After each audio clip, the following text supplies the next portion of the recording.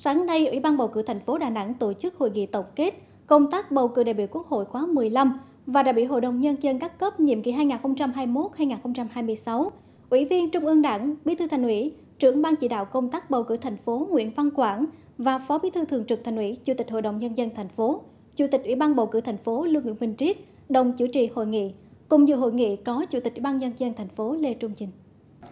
Với sự lãnh đạo chặt chẽ toàn diện, kịp thời của các cấp ủy đảng, chính quyền, mặt trận Tổ quốc Việt Nam, các tổ chức phục vụ bầu cử, cuộc bầu cử đại biểu Quốc hội khóa 15 và đại biểu Hội đồng Nhân dân các cấp nhiệm kỳ 2021-2026 trên địa bàn thành phố Đà Nẵng đã diễn ra thành công tốt đẹp, đảm bảo dân chủ, bình đẳng, đúng pháp luật, an toàn đảm bảo phòng chống dịch bệnh COVID-19 và thực sự là ngày hội của toàn dân. Tỷ lệ cử tri đi bầu cao đạt 99,9%, không có sai sót trong tổ chức bầu cử, nhất là ghi nhận sự ủng hộ và tham gia nhiệt tình của tổ chức sắc tôn giáo và đồng bào có đạo với công tác bầu cử. Tình hình an ninh chính trị, trật tự an toàn xã hội trước trong ngày bầu cử được giữ vững,